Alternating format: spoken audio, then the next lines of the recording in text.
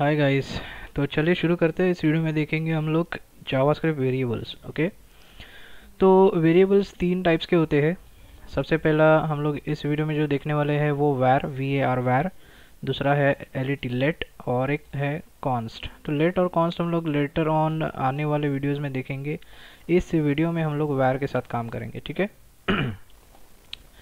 तो यहाँ पर कुछ चीज़ें लिखी है, ये हम लोग स्टेप बाय स्टेप एक एक चीज़ करके देखेंगे। तो सबसे पहले देखते हैं कि वेरिएबल बनाते कैसे हैं सिंपल वैर के साथ। तो वी ए आर लिखना है आपको, और मैं लिखता हूँ यहाँ पर एक वेरिएबल का नाम इक्वल टू मैं लिखता हूँ ओप्स ओके मैं सावन, ठीक है? तो मैंने क्या लिखा यहाँ पर?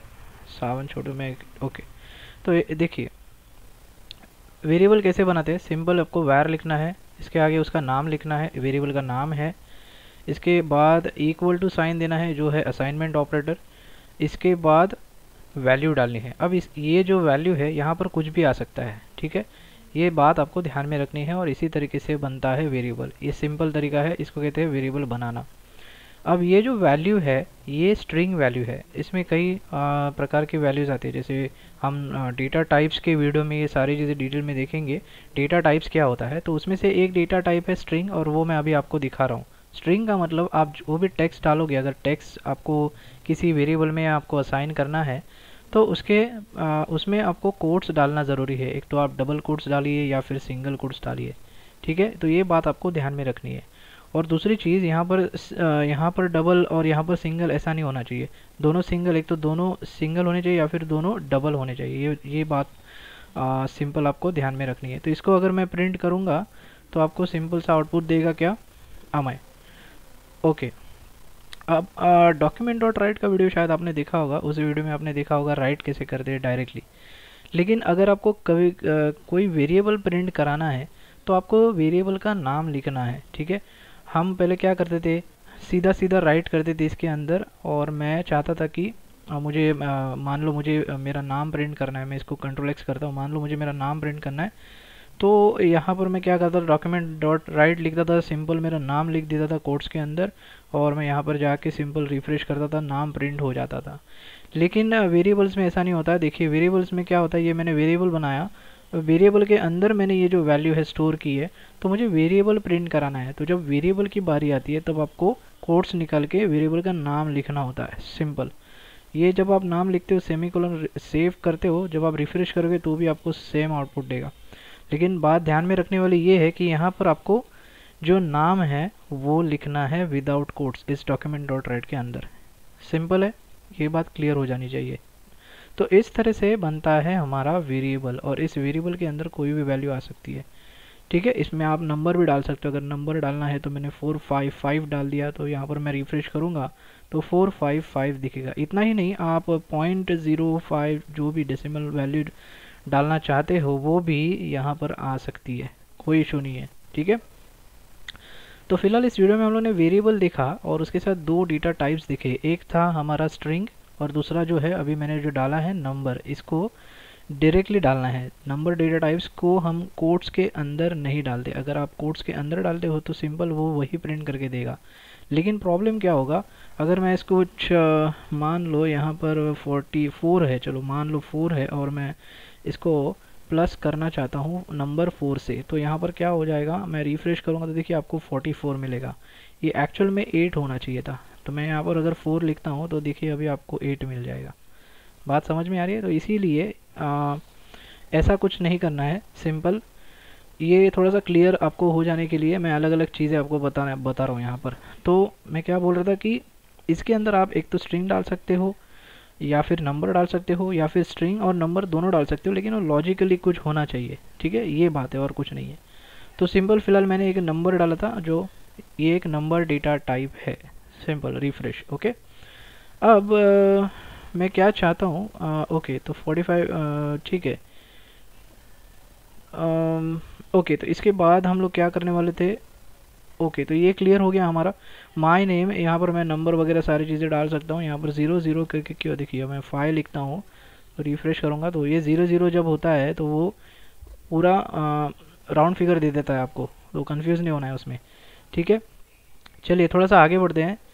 आ, क्या बोल रहा था मैं? ओके वेरिएबल्स आर कंटेनर्स तो क्या है क्या है ये? सिंपल आप क्या कर रहे हो? इस माई नेम में ये जो वैल्यू है उस माई नेम के अंदर आप असाइन कर रहे हो और वही चीज़ आप यहाँ पर प्रिंट कर रहे हो और आपको सिंपल सा आउटपुट यहाँ पर दिखाई दे रहा है। सिंपल है? ये ज़ीरो ज़ीरो था इसके लिए दिखाई नहीं दे रहा था। वो अभी ज़ीरो फाइव ज़ीरो वन भी करोगे तो दिखाई देगा। बिकॉज़ यहाँ पर कुछ अमाउंट वैल्यू जो भी है। ठीक है आगे बढ़ते हैं। इसमें letters digits underscore dollar signs ये सारी चीज़ें आप यूज़ कर सकते हो। लेकिन कैसे है? वो थोड़े से कंडीशंस है, मैं आपको बताता हूँ। देखिए लेटर्स तो हम लोग ने यूज़ किया है। माई नेम माई नेम ठीक है? ये माई नेम मतलब स्टार्टिंग में स्टार्टिंग में यहाँ ऐसा कुछ नहीं है। इसके अंदर आप my name one two three तो my name one two three numbers भी डाल सकते हो। मैंने सेव किया और रिफ्रेश किया तो देखिए सेम आउटपुट दिखाई देगा। अब डिजिट्स हम लोग ने यूज़ किया। अब क्या बोल रहा था वो? लेटर्स लेटर्स भी हम लोग ने यूज़ करके देखा हुआ है। अब इसके अंदर आप अंडर भी यूज़ कर सकते हो। तो my name underscore underscore भी यूज़ यहाँ पर कर सकते हो। सेव और रिफ्रेश देखिए तो भी यहाँ पर आउटपुट दिखाई देगा और डॉलर साइन भी यूज़ कर सकते हो। ठीक है तो डॉलर साइन भी हम लोग यूज़ करके देख लेते हैं यहाँ पर। चलिए, इसको डॉलर डाल दिया डॉलर डाल दिया और रिफ्रेश देखिए तो भी काम करता है। सिर्फ़ यहाँ पर एक कंडीशन क्या है? ये सारी चीज़ें आप यूज़ कर सकते हो, लेकिन जब भी आप आपका वेरिएबल नाम लिखते हो वेरिएबल का नाम जब लिखते हो स्टार्ट करते हो, तब स्टार्टिंग में नंबर नहीं होना चाहिए। ये नहीं होना चाहिए। अगर मैं ये चीज़ लिखता हूँ, मैं कॉपी करता हूँ, देखिए यहाँ पर पेस्ट कर देता हूँ और इसको निकाल देते हैं। देखिए, यहीं पर एरर दिखा रहा है आपको। अब यहाँ पर रिफ्रेश करूँगा तो देखिए आपको एरर मिल जाएगा। बोल रहा है कि ये इनवैलिड और अनएक्सपेक्टेड टोकन है। सिंटेक्स एरर बता देगा। और इस चीज़ को चेक करना है तो आपको देखिए कंसोल में जाके इस लाइन नंबर पे जाना है और लाइन नंबर 36 बता रहा है तो हमें लाइन नंबर 36 पे देखिए यहाँ पर एरर दिखाई देगा। सिंपल है। तो ये चीज़ आप नहीं कर सकते। देखिए, यहाँ पर क्या बोला है? Start with a letter dollar और अंडरस्कोर हाँ आप अंडर डॉलर डालते हो, चलिए डॉलर वैलिड है तो मैं डॉलर डाल सकता हूँ स्टार्टिंग में मेरे वेरिएबल नेम के।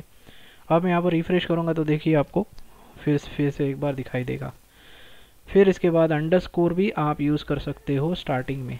तो ये भी हम लोग चलो डाल के देख लेते सेव एंड रिफ्रेश ठीक है? तो ये एक चीज़ें क्लियर हो गई हमारी। अब हम लोग देखेंगे एक अच्छा और एक चीज़ है कैनॉट गिव स्पेस इन आपके वेरिएबल में तो यहाँ पर आप स्पेस नहीं दे सकते। तो ये भी इनवैलिड है। तो यहाँ पर रिफ्रेश करोगे, फिर एक बार एरर दिखाई देगा। क्लियर है सर ओके तो यहाँ पर मैं रिफ्रेश करता हूँ।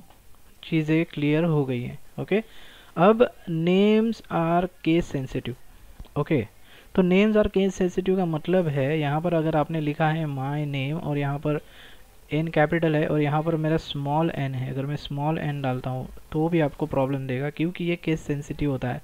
अगर आप यहाँ पर कैपिटल एन डाल रहे हो, यहाँ पर स्मॉल डाल रहे हो तो आपको आउटपुट नहीं देगा वो। प्रॉब्लम देगा। देखिए my name is not defined बोल रहा है। आपने जो राइट किया है document dot write my name जो बोल रहा है, ये डिफाइन नहीं किया है आपने कहीं पर। उसको मिल नहीं रहा है स्क्रिप्ट के अंदर। समझ में आ रही है बात? इसीलिए ये हमेशा सेम होना चाहिए। यही चीज़ लिखी हुई है यहाँ पर। Names are case sensitive Y and Y are different variables ठीक है? और uh, कुछ रिज़र्व वर्ड्स होते हैं जो जावास्क्रिप्ट खुद के लिए रखता है। वो हम लोग यूज़ नहीं कर सकते हमारे वेरिएबल नेम्स के अंदर। तो हमेशा ये चीज़ हमें ध्यान में रखनी है। ठीक है? तो मैं सिंपल सा मेरा जो पहला था माई नेम वही रख देता हूँ और मैं रिफ्रेश करता हूँ यहाँ पर ठीक है? और एक चीज़ यहाँ पर देखिए कैमल केस कुछ केसेस है, जैसे टाइटल केस होता है अपर केस होता है। वैसे ही जावा प्रोग्रामिंग लैंग्वेज में जनरली जो डेवलपर्स होते हैं, वो ये वाले यूज़ कर सकते, करते हैं कैमल केस और मैं भी हमेशा यही यूज़ करता हूँ। देखिए, दो वर्ड अगर आप आते हो, कुछ लिखते हो वेरिएबल का नाम माई नेम तो मैं नेम का दूसरा जो मतलब दूसरा वर्ड का जो पहला लेटर है, वो मैं हमेशा कैपिटल रखता हूँ। तो इसको कहते हैं कैमल केस ठीक है?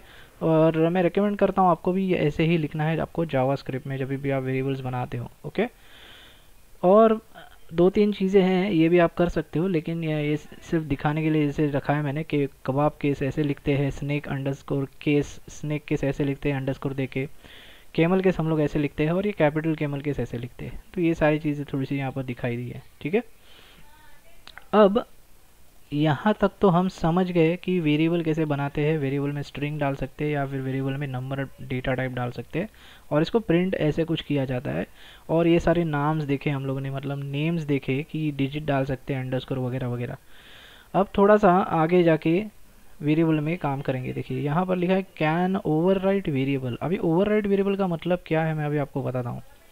अब मैं, देखिए, मेरा नेम जो है माई नेम है, इसमें मैं फिर एक बार स्ट्रिंग डाल देता हूँ, मैं लिखता हूँ अमय सेव किया, मैंने रिफ्रेश किया तो आपको सिंपल सा अमय दिखाई देगा। करेक्ट है? तो अगर मैं चाहता हूँ कि नहीं, मुझे बाद में जाके मेरा नाम मुझे चेंज करना है तो आप कर सकते हो। अगर मैं यहाँ पर चाहता हूँ मुझे अनिकेत डालना है तो ये आपका अनिकेत नाम प्रिंट होगा। मैं यहाँ पर सेव करता हूँ रिफ्रेश करता हूँ, देखिए आपको अनिकेत दिखाई देगा। इसी को कहते हैं you can over your variables मतलब आपने यहाँ पर एक वेरिएबल बना लिया, अमय माय नेम के नाम से और उसको अमय दे दिया स्ट्रिंग वैल्यू और फिर उसको आपने चेंज कर दिया यहाँ पर। तो आप बोलोगे यहाँ पर वैर क्यों नहीं लिखा है? यहाँ पर वैर इसलिए नहीं लिखा है, देखिए यहाँ पर वैर ऐसे नहीं लिखना है फिर एक बार, क्योंकि ऑलरेडी आपने यहाँ पर माई नेम का जो वेरिएबल है ऑलरेडी यहाँ पर डिक्लेयर कर दिया है इनिशलाइज कर दिया है, ठीक है? तो इस, वापस जब आप लिखते हो, सिर्फ़ उसका वैल्यू आपको चेंज करना है, यानी रिप्लेस करना है, यानी ओवर करना है तो इसके लिए वायर लिखने की ज़रूरत नहीं है। ये ध्यान में रखना है आपको, ठीक है? अब चाहते हो कि आप फिर एक बार मुझे नाम चेंज करना है। मैं लिखता हूँ, मैं सुशांत चाहिए मेरे को तो मैं यहाँ पर सेव कर देता हूँ तो आपको यहाँ पर सुशांत दिखाई देगा। तो ये बात ध्यान में रखनी, जो भी आपका लास्ट वेरिएबल रहेगा, वही यहाँ पर प्रिंट होने वाला है। सिंपल है। अब चाहो, आप चेक करना चाहो तो देखिए, फिर एक बार मैं यहाँ पर कॉपी पेस्ट करता हूँ दो तीन बार, फिर भी आपको वो सुशांत सुशांत ही राइट करके देगा, क्योंकि आपकी जो लास्ट वैल्यू है, वो है सुशांत ओके ये चीज़ आपको थोड़ा सा ध्यान में रखना है। ठीक है। आप थोड़ा आगे बढ़ेंगे। अब डिक्लेयर और इनिशियलाइजेशन क्या होता है वेरिएबल्स में? अब देखिए, ये तो सिंपल पता है आपको, इसको ऐसा, ये जो आप लिखा है आपने जो लिखा है, इसको कहते हैं वेरिएबल बनाना सिंपल लेकिन इसको कहते हैं इनिशियलाइजेशन ठीक है? इनिशियलाइजेशन मतलब इनिशियलाइज किया आपने इसको।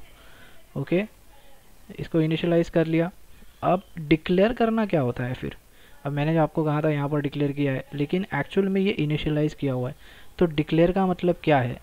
जब आप ये सब निकालते हो और आपने सिंपल लिखा है वेरिएबल माय नेम इसका मतलब होता है डिक्लेयर करना।